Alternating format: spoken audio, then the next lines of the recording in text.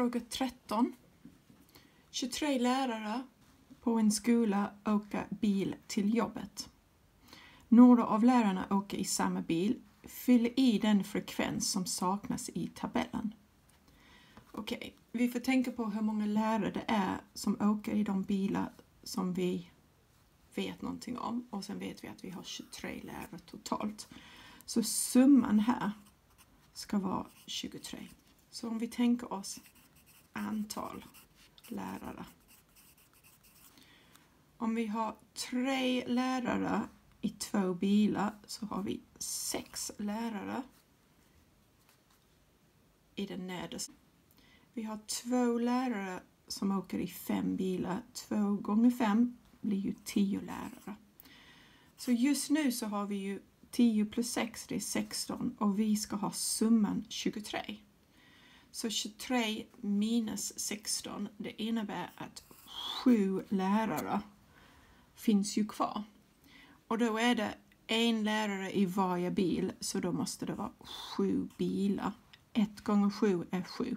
Så det måste vara sju bilar som har en lärare i var. Så svaret är att fylla i en sjua.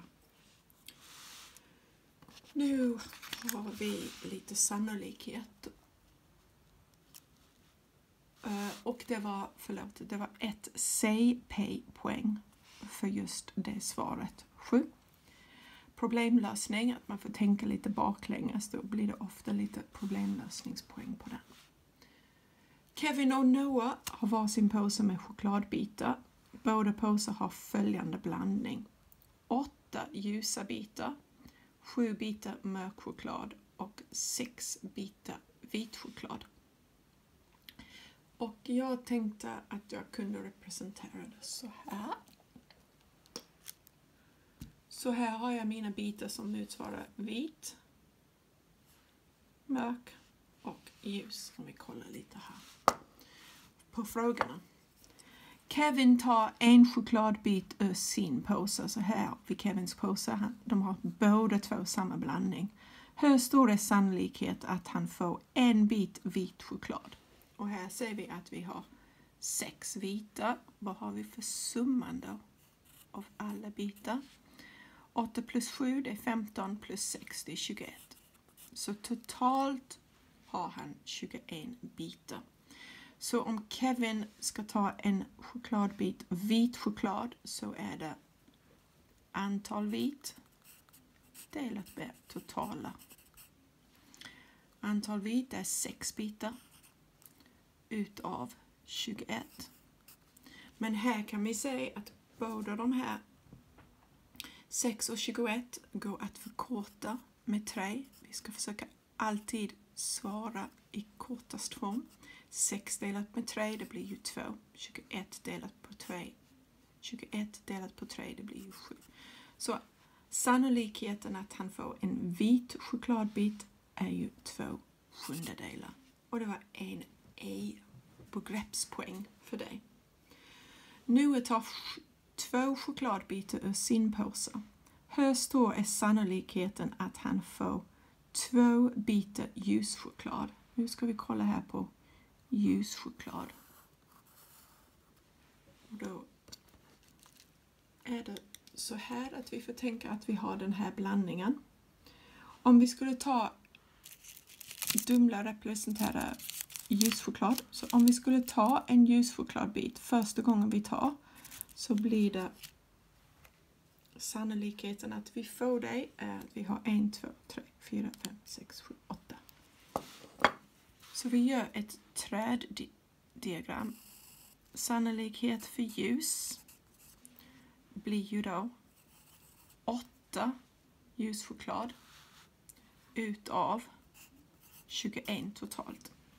Men sen när vi har tagit den här ljusa chokladen så har vi inte åtta ljuschokladbitar kvar längre. Vi har 1, 2, 3, 4, 5, 6, 7.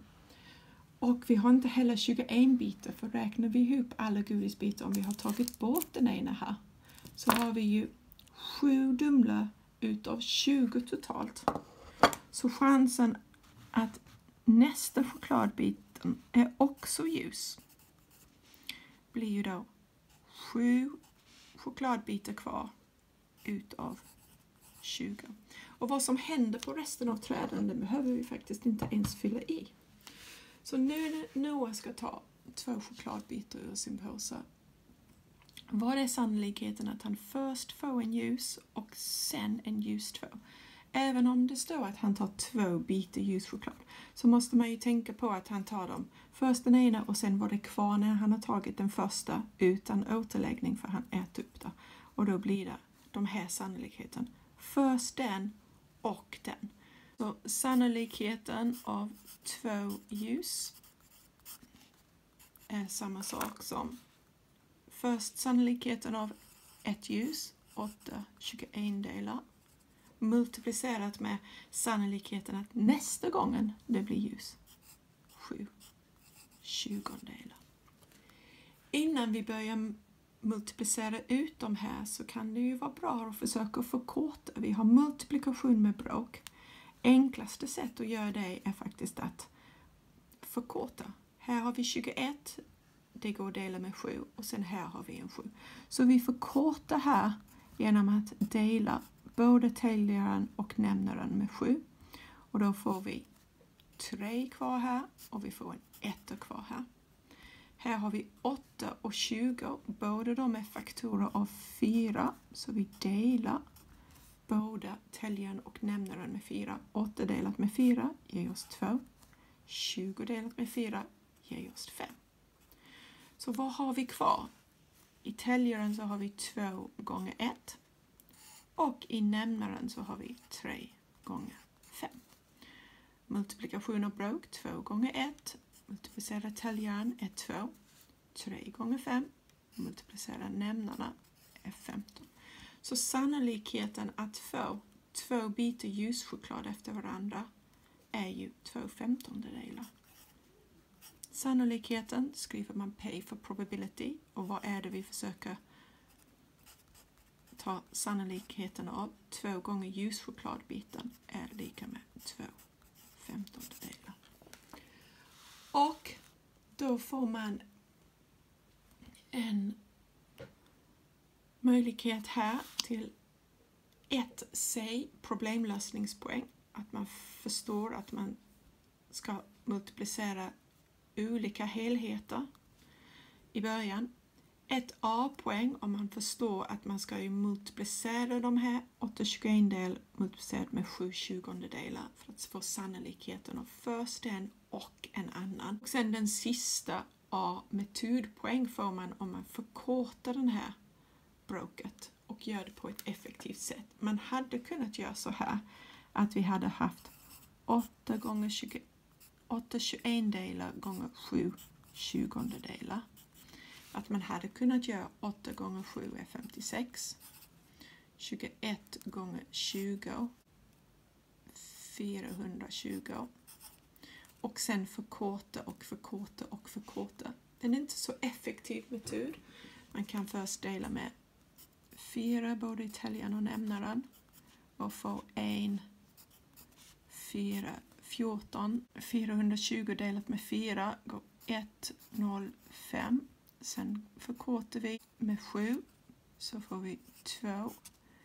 10 delat med 7 går en gång och 3 i rest och 35 delat med 7 går ju fem gånger. Så vi får dela genom den här metoden också men det blir mycket snyggare och enklare om vi kan förkorta direkt i broken. Och man kan bara förkorta en faktor i täljaren, en faktor i nämnaren. Eh, jag brukar göra det så att jag gör det så att det ser ut så här. 8 21 delar gånger 7 20 delar. Jag brukar bara säga att ja, och 7 går att dela med 7. Det blir ju 7 delat med 7 blir 1, 21 delat med 7 blir 3. Så jag, jag visar inte hur jag förkortar, jag bara gör det automatiskt. Så den här 21 blir en 3 nu och den sjuan blir nu en etta. 8 och 20, jag delar båda med 4. Den här 8 delat med 4 blir en 2 och 20 delat med 4 blir en 5. Så jag säger direkt att jag får 2 gånger 1 3 och 5. Så jag får 2 tredjedel gånger en femtedel, så det blir 2 femtondedelar. Det är bra att kunna den här tekniken att förkorta bråken innan du gör multiplikation med bråk. Du sparar jättemycket tid. Lycka till med den!